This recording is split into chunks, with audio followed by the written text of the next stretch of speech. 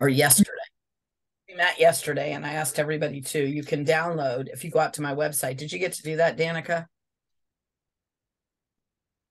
So I went to the website and it said that I you wanted my email and password, so I just didn't go that I didn't go past that point. I should have, but I didn't. Yeah, that's how it's set up. So my marketing person set up all my so all my worksheets are free, but you got to put in your pass password and uh whatever email thing. That's all your and then you can download everything for free. I debated putting all mine, mine also in a book so people could just buy it in book form, but I haven't done that yet. But I do have it this and then my worksheets are free out there. And that's how you get all my free worksheets.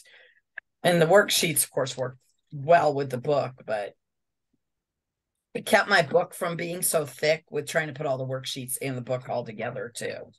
So that's how we ended up deciding to strategize and do the worksheet. So basically, my worksheets are going to be about ranking. I was telling you that, Laura, that there's six different areas of our life, I feel. And the more and more I sat down and was helping small to mid sized businesses, like I said, I've done this similar to you, Danica. Um, my 23 year old was born um, I had a 14 month old and a newborn. And my 14 month old, when he was seven months old, got injured in daycare and in home daycare. He got a spiral fracture from here to here. And I was system analyst for Sprint at the time. Loved my job, was really good at it. I would break everything. And it was a long distance division. I know nobody knows what that is nowadays. And my pager and my baby wouldn't go off the same time. People don't know what a pager is either. Ha ha ha. But yeah, that was back in the 90s. And I was in a male dominating field and women weren't in that field. And so I had a uh, a 10 year old, a 14 month old, and a newborn.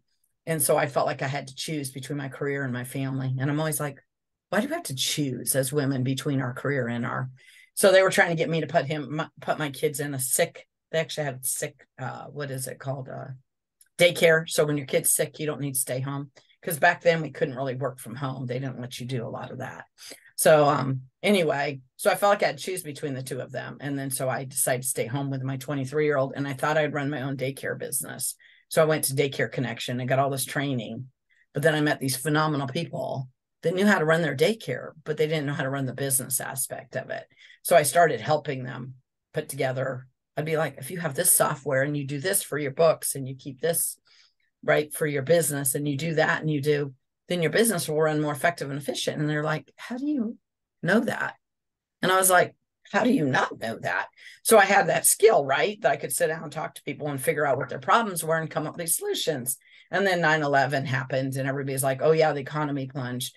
Well, no, I was pregnant through 9 11, and I lost my brother in the Pentagon 9 11, and my brother was never identified. So that got dragged out six months. And so that caused, right? Caused problems. And I'm just telling my story short short story version. Um, but anyway, so then I have a newborn in the middle of 9 11. She was born January 22nd. She literally will be 21 on Sunday now. And they had to take her six days early. C section, she was due on the 28th because of all the high risk, you know, all the stuff that's going on. And then my brother was buried March 11th in Arlington. So um, we couldn't fly his, her, uh, his uh, memorial here was at Hope Lutheran on January 11th. So anyway, so I had all these memorials too through my brother's death, which was a lot.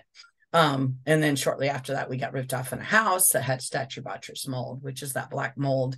You should never buy a house a month after you just put somebody right. So we bought a house April 2nd. It turned out to be a bad house out in Linwood Basehor. So my daughter turned blue and uh, twice, newborn baby, 10 weeks old. And anyway, it was a lot. And she ended up two weeks, I mean, two years in Children's Mercy on and off with really bad asthma.